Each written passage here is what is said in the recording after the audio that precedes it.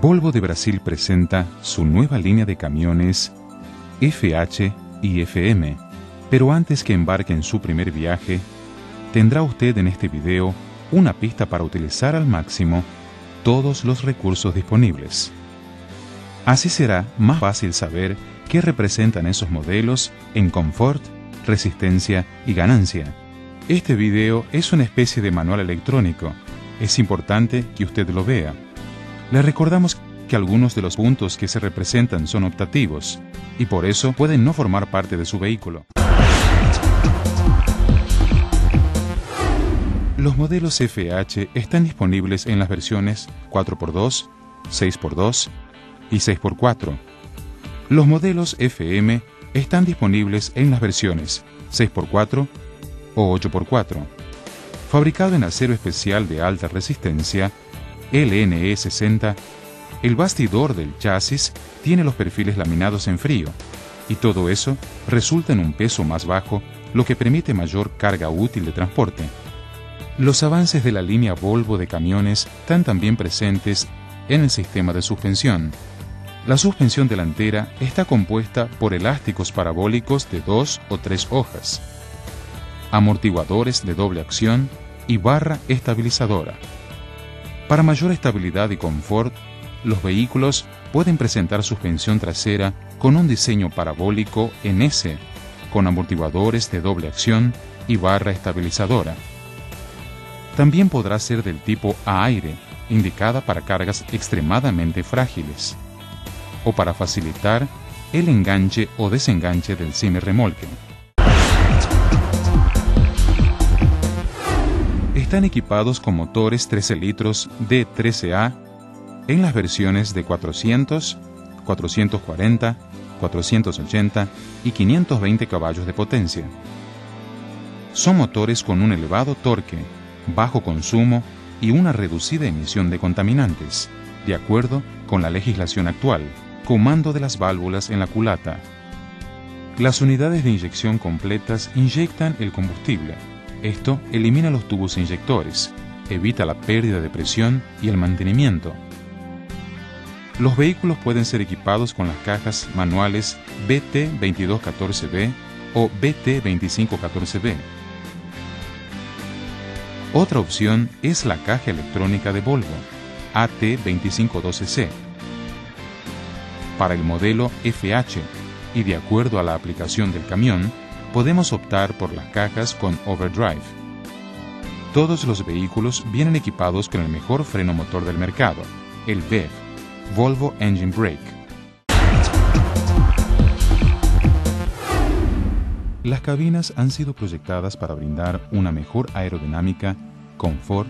Hay tres tamaños distintos: L1 EH1, cabina extendida, L2H1, cabina con cama normal L2H2, cabina Globetrotter, la suspensión de las cabinas puede ser a aire o por medio de resortes.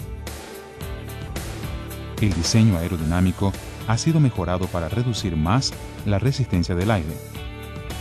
Y eso se ha logrado a través de soluciones tales como la inclinación del parabrisas, por ejemplo, o esquinas más redondeadas adelante de la cabina, las superficies exteriores más lisas, con menos juntas y relieves, y la concepción aerodinámica de los nuevos faros, espejos retrovisores, extensiones de la puerta, guardabarros y paragolpes. El interior de la cabina tiene varios compartimientos para instalar equipamientos y guardar objetos personales. Tanto los asientos como las nuevas camas exhiben un nuevo concepto en confort con nuevas densidades de espuma. Además, las nuevas camas presentan el concepto de resortes recubiertos que proporcionan mucho más comodidad. Sobre el motor hay un pequeño resalto de 17 centímetros y en la región de los asientos la altura es de 1,93 centímetros. En el FM el resalto es de 43 centímetros y en la región de los asientos la altura llega a 1,63 centímetros. Para un mayor confort del conductor hay puntos de iluminación en el techo en la región de la cama y señalización en las puertas. La escotilla en el techo ayuda a ventilar la cabina, principalmente con el vehículo parado. En el FH usted puede usar este cajón que le permite tener una mejor organización interna. Este tablero se encaja sobre el volante para facilitar las anotaciones. Abajo de la cama, en ambos lados de la cabina, hay espacios para enseres personales y para las herramientas que acompañan al vehículo.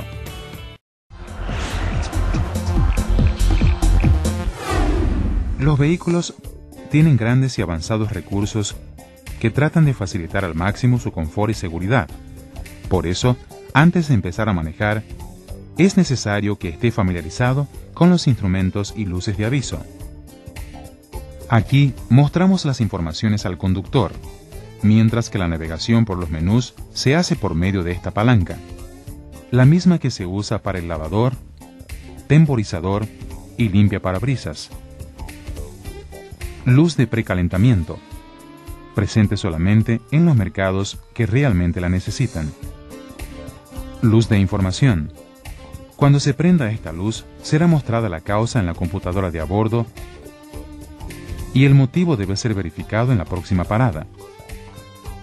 Luz de parada y advertencia central.